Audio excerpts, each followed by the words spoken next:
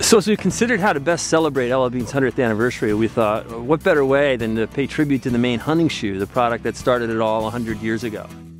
The idea here is not to put a boot on a truck, it's putting a truck inside of a boot. The boot is the primary feature. The truck is really the vehicle, no play on words, is the vehicle to get us there. So it's obviously not as easy as just going down to your local car dealership, buying a truck, putting some foam on it, making it look like a boot. It goes a little bit deeper than that. We went through several steps. We actually had the first concept sketches. The vehicle was facing backwards on the back of a flatbed truck. And as we progressed through it, we decided that the best look is a forward-facing boot. From the sketches, then we went to 3D modeling where we 3D scanned a real boot and had a model of a pickup truck and then we interlaced them together.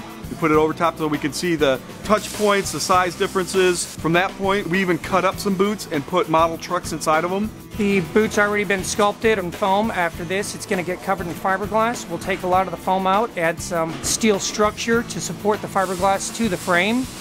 It'll get painted the uh, iconic colors of the LL Bean boot all the way down to the dual color lace, mm -hmm. which is actually two inch mooring rope for a tugboat. So Technically, laces on this thing can pull 120 tons. We're not doing an artistic piece here. We're, we're replicating a boot, which is what's important, is to keep yeah. those proportions. Keep the details down to the dual colored laces, the stitching line. It's great, you know, to be a part of, of, of it. It's really history. Part of history and bringing an icon to life.